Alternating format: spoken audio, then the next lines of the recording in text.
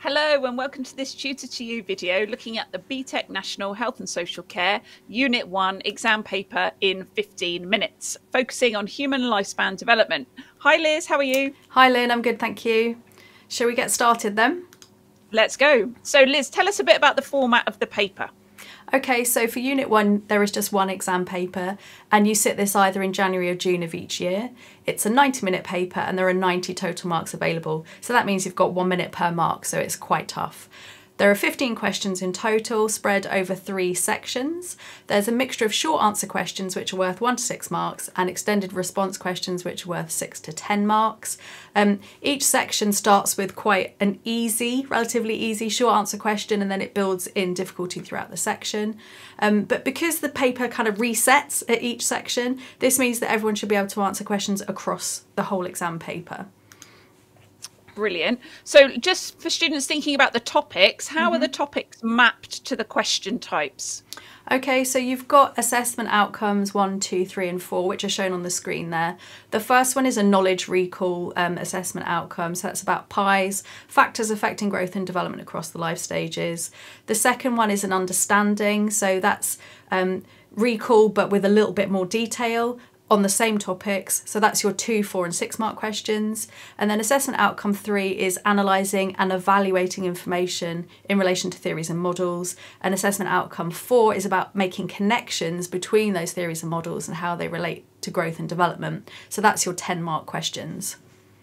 Okay, brilliant. So it gets a bit more tricky as students go along. Mm-hmm. So tell us, what can students kind of expect then from the questions that they're looking at? Yep, so most questions have a short contextual statement at the beginning, so like a little scenario or mini case study. Um, you might be asked to identify life stages and age ranges, define a key term, or explain the difference between key terms. There's always a data interpretation question, so you get a graph, a data table, or a chart.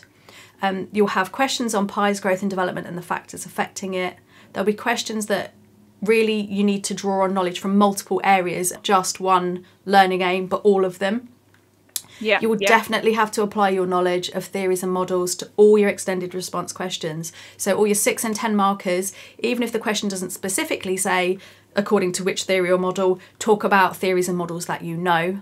And then the thing that kind of catches people out perhaps is that 50 of the total marks available are in the form of 10 mark questions.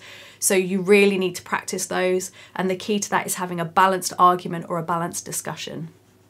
Okay, brilliant. So for unit one, then, so command words. So when you um doing your short answer questions, can you tell us what command words to expect in the paper? Yep. So we've got the identify command word, which is worth one or two marks. Um, the most basic question that you'll get identify the life stages and age ranges of individuals in a context so for example um, the red text there is is um, acceptable way to answer this question. So you don't need to write a full sentence. You can just write early childhood 3 to 8 years and that would get you a mark. Adolescence 9 to 18 years that would get you a second mark. So it's literally one or two word answers. State questions, also the most basic question you'll get, one or two marks, um, often used with the, um, the data interpretation question. So, for example, you might get state the percentage of, and you literally just write 98% for your mark. Um, remember to always add in the units, really important. The other type of question that is low value is outline. These are two or four mark questions. So, for example, on the screen outline what is meant by the terms nature and nurture. So for these outline questions, because you're being asked to outline something, a concept, a meaning, a definition, you need to write in a short sentence. Okay, brilliant. So, what I'm getting from you then so far for our, when we think about our exam gold, when we're asked to identify, state, or outline something, students should be answering briefly with one or two word answers. So nice, short, and sweet. Read the question carefully and give what is specifically required. So if it asks for a physical factor, emotional or social will not be credited, even if that's accurate. So be really careful when you're reading those questions. Check your answer matches the context and be precise. And don't waste time repeating the question or just describing and explaining something because it's just an identify state or outline. Exactly. Brilliant. Thank you, Lynne. So if I go on to tell you about some of the other um, short answer command words because there are some others. So outline, as we said, two or four marks, describe two or four marks, and explain two or four marks. So a- another type of outline question you might be asked is um, to outline ways in which factors or life events affect people. So the example on the screen outline two ways that low income could lead to a poor diet. So to answer this, you need to have sentences that provide an overview of something, such as the ways that poor diet could, um, um, low income, sorry, could lead to a poor diet. For describe, you're often asked to describe two ways for something. So, two ways that redundancy could affect an individual's emotional well-being or health and well-being. So, to answer this, you need to have sentences that give details. You need to look at cause and effect or the difference between two concepts, and then explain. For explain, whether they're two or four marks, you need to be using sentences that explain how, why, or when something occurs, such as explaining the difference between two things or the difference in impact on growth and development of something. Or, for example, as on screen, explain the difference between gross and fine motor skills. So you need to show that you understand how, why, or when those things are different. Brilliant. Thanks, Liz. So, it, can you show us then an example question and how a student might answer it and how the marks might be awarded? Absolutely. So we'll take that example I just said, explain the difference between gross and fine motor skills for four marks. So you're looking to provide two kind of two parts to your response. The first one about gross motor skills and then showing the difference between that and fine motor skills. So, for example, gross motor skills use the larger muscles in the arms, leg, and torso to achieve balance and movement, for example, riding a two wheel bike. Whereas, so that's a nice connective to show contrast, fine motor skills use the small muscles in the fingers, hands, and wrists to achieve precise and controlled actions, for example, using a pen for handwriting. So we are getting um, our first marks in each each case for clearly showing what a gross motor skill is and what a fine motor skill is, and then we um, move on to show how this contrasts with a fine motor skill and explain its use. So if I just reveal all the ticks, I think that's easier. So in the first part, gross motor skills use the large muscles in the arms, legs, and torso. That gets you a mark. Then you say um, what they are used for and how. So that gives you the second mark. And then you contrast that with fine motor skills, what they are, and then how you use them. And that really clearly answers the question. It's an, an explanation that shows the difference. Brilliant. What about this one then? So, if they're having to outline two ways that low income could lead to a poor diet, how could they uh, address this one? Yep. So, I'm just going to reveal all the ticks from the beginning, I think, because I think it's easier. Okay, so due to cost, parents may prioritise the quality of their children's diet over their own. So, that's a way. And then we need to complete our outline. So, we need to fully, you know, say what we're talking about here. So, meaning that parents lack essential nutrients such as protein, which is more expensive. So, you're saying a way that low income leads to a poor diet, but then you're expanding to fully explain the link, the impact. Um, students often don't do that second part, so they might do the first part and think, "Yeah, I've done it," but you haven't. You haven't shown, you know, how or why that exactly leads to a poor diet. Same in the second one, difficulties in paying gas and electricity bills may make storing or cooking food challenging. So that's a way. And then you're saying how it leads to the poor diet, which leads to consumption of high fat, salt, and sugar convenience foods. So it's about remembering that you've not just got to give the way, you've got to say how that happens or why that happens. Brilliant. Thank you. So, what I'm getting from you then, so when we think about these slightly um, higher mark, four, um, two to four mark questions, when they're outline, describe, and explain, lots of specialist language and mm-hmm. key terms from health and social care that you've learnt from your teaching and the specification. And you must show you understand how, what, why, or when, because that gets you the second mark in most responses. And it's marked, they're marked in pairs, aren't they? Identify Absolutely. and explain. Yeah. And don't don't waste time repeating the question in your answer and check your answer matches the requirements of the question and is relevant to any context that that is there. Absolutely. Brilliant. So let's think about those extended response question though. So these are the 6 and 10 markers. Can you tell us about these? I can, yeah. So for your 6 markers, the command words tend to be discuss and describe. So, for example, discuss the influence of attachment experiences in infancy on health and well-being throughout the lifespan. So, for a discuss or a describe, describe question with six marks, you definitely need to use sentences. You're explaining in detail how a factor or a life event influences health and well-being. You need to show more than one side of the perspective. You need to link to theories and models, and you need to have a logical, balanced answer. Remember, it is a discussion or a description.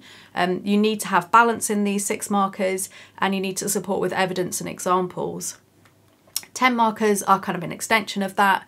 Command words are typically to what extent evaluate and assess. So you really need to be making a judgment in these questions. It's not merely just a discussion. You need to make a judgment, probably reach a conclusion by the end. So there's two examples on the screen.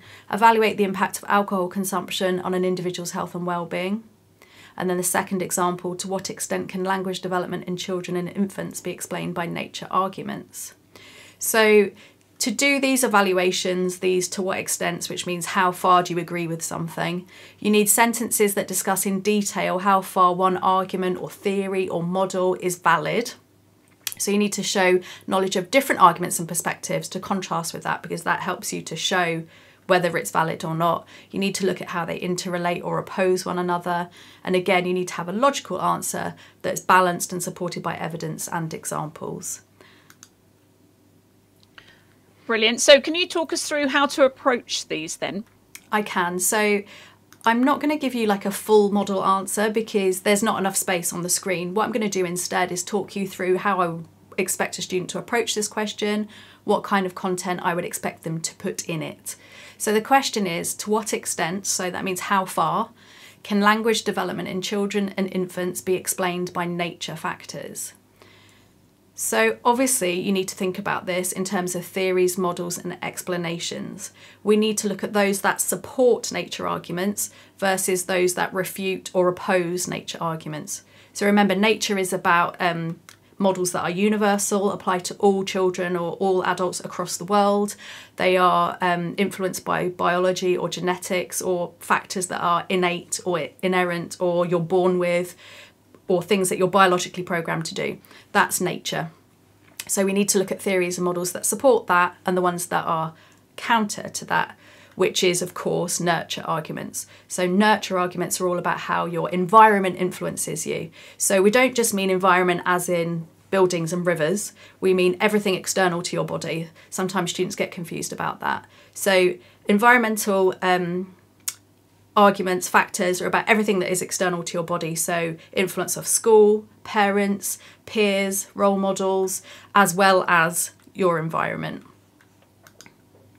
So, in this case, we're going to be contrasting, I would expect you to contrast Chomsky, who is um, a linguist and has his uh, language acquisition device theory, which is a nature theory, with Bandura, which is a nurture theory.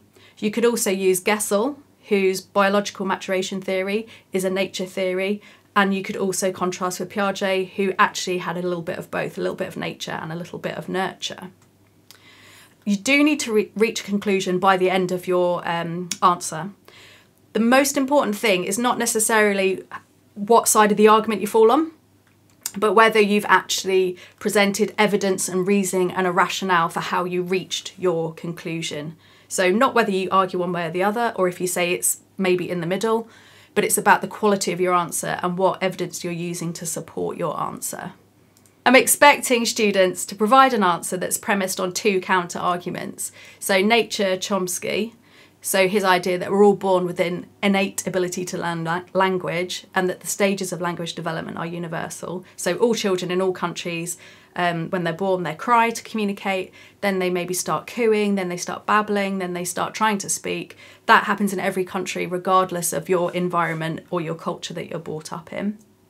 Versus the idea that language development is more about nurture and social learning theory, Bandura, which says that we would learn language from those people around us. So, children that are not encouraged to speak or do not hear others don't speak. So, that's what I want you to I want to see in this answer is you know an, an examination of both of those things and then providing evidence to support each side of the argument and then reach a conclusion at the end which one do you think is more convincing and it doesn't matter what um, you know theory or model or question we're having it's always going to be the same kind of structure that I want to see. So, you know, what are the two main theories or main ideas, contrast them, look at the evidence, and then reach a conclusion essentially. And there are 50 marks available on these type of answers, so it is really worth practicing um, writing a balanced argument. It's really valuable to think about all of the theories and models in terms of which ones are nature, which ones are nurture, and which ones are a mixture of the two. I think that's the most important thing that you can, most important way to categorize your your theories and models. So I think we've just got this to go, Lynne. Okay, brilliant. Yeah, so you've got about five, ten markers in the whole paper, haven't you? Mm-hmm. So that's what I'm hearing from you, and you need that flip side. Yeah. So, um, yeah, let's get this right then when answering the 10 mark questions. Students should be writing in sentences and paragraphs that are detailed and logical. Again, they should be demonstrating their answers through accurate knowledge by using that health and social care terminology. Give relevant examples and link your points appropriately to the context of the question. Okay. Um, apply knowledge of theories and models to different contexts. So don't forget your theories and models. Provide a well balanced answer, well developed with advantages and disadvantages and strengths and weaknesses. And make sure for those 10 markers you have reached your conclusions. Brilliant. Absolutely. Okay, so yes. I am not sure. Did we do it in 15 minutes? I hope we did. Hope so. yeah. Okay, Thanks so yeah, good luck to everyone. Bye.